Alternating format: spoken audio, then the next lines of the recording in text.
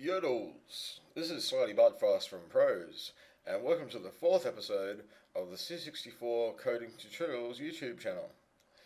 That's the fourth episode in two days, so expect a lot if you're a subscriber and you become a patron. $5 a month, and you, get so much for it.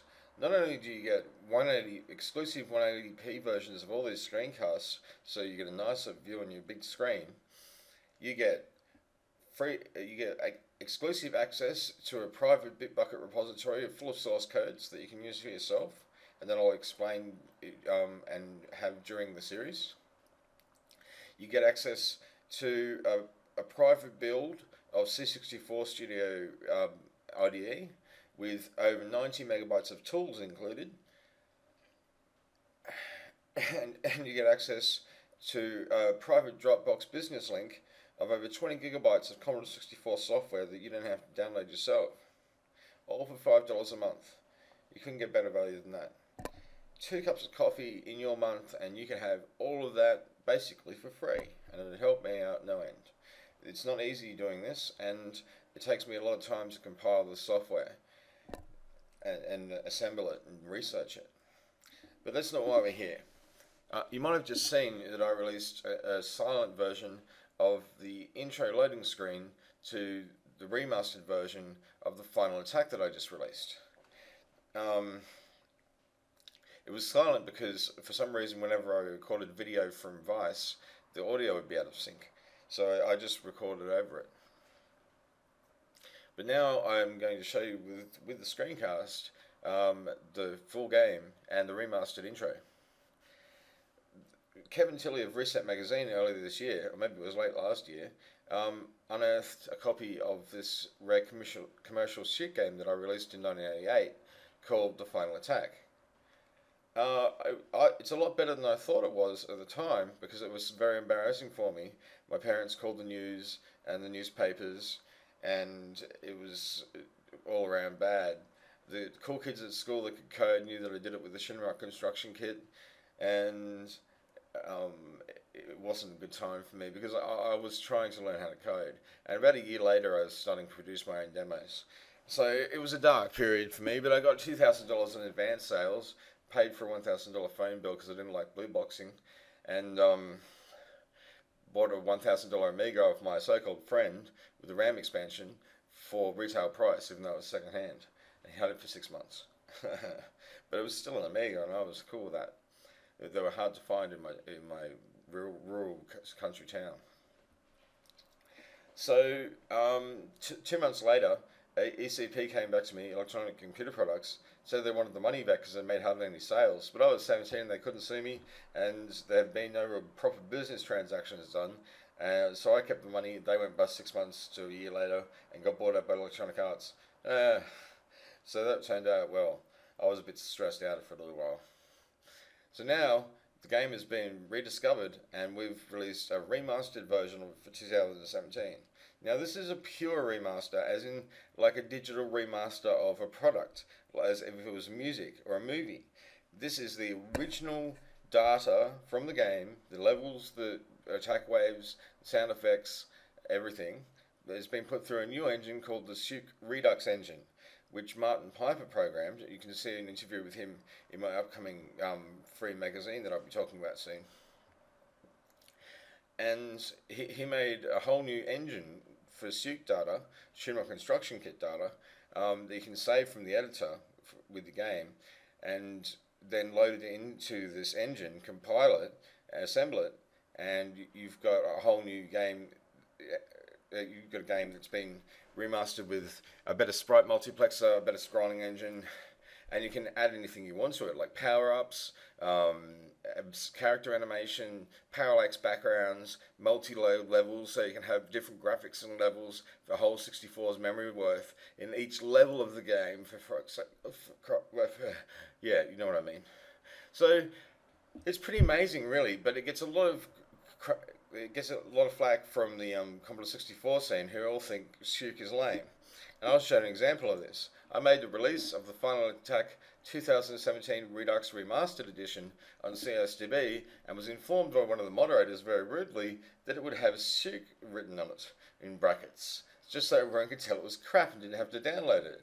Well, my friends, it's got 92 downloads in, in a day, so I don't think that technique is working. They've, uh, who knows, maybe they think it just has to be categorized as SEUCK, but it's got a whole new engine, it's been remastered. It's not, I wouldn't exactly count it as a SEUCK game, but whatever. When I, when I release my um, sequel to the final attack, which will have whole new level graphics and multi-load levels. So it won't just have flying over Nazi spaceships. It'll have flying over planets. It'll have flying over uh, planets that are just water, planets that are just ice, planets that are forest. It'll be Star Wars all over again. It's going to be great. But until then, we've got the remastered edition. So let's download it. Oh, my internet's disconnected, so Camtasia doesn't stop working. It doesn't matter. I've downloaded it earlier. Here we go. Now, last time I recorded this, the audio on the emulator uh, drowned me out.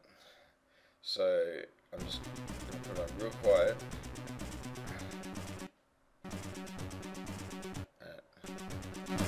Oh.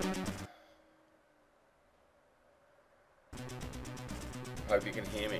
Alright, I have the microphone over here and I turn the speakers right off and you'll just be hearing the emulator going over, over my output. Now hopefully this is working now. You see the intro?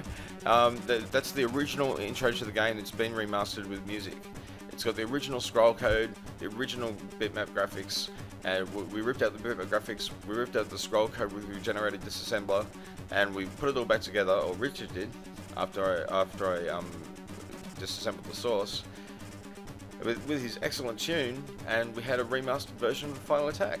And all we had to do was run the Final Attack main data through the Redux engine, and we've got a digitally remastered version of a Commodore 64 game. Now, how often does that happen?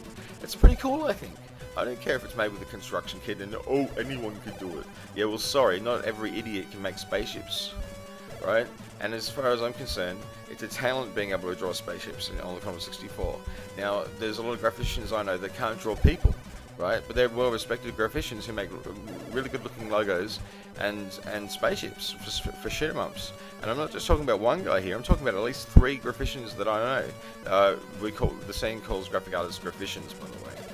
So there you go. Now back to the game.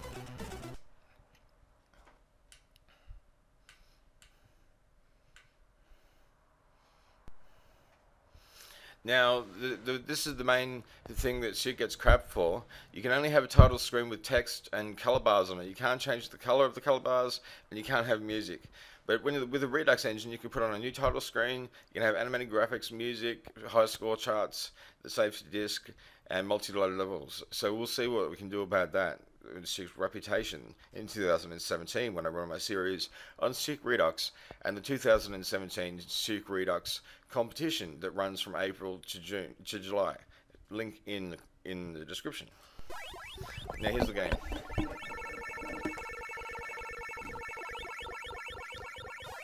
Now I'm not very good at shoot 'em ups now. I used to be much better at them. Now Richard Bayliss said this game was too easy.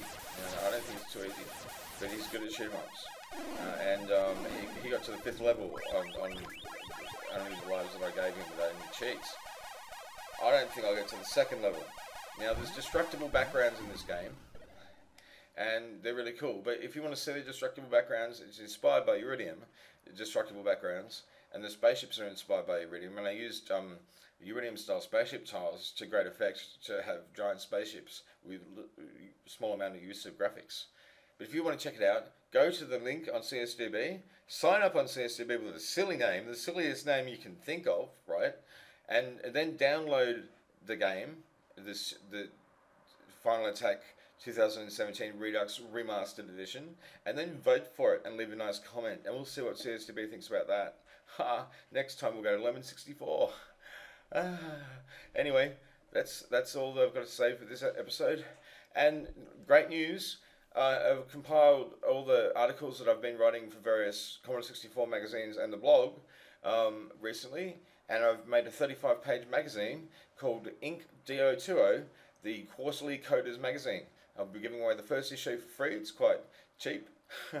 Not the free part, I made it in Word. I don't have any design software, but it's a PDF. It's about 35 to 40 pages, and it'll be released soon. And we'll do a Kickstarter for INC uh, a Coders Quarterly Coders magazine in January. So look forward to that.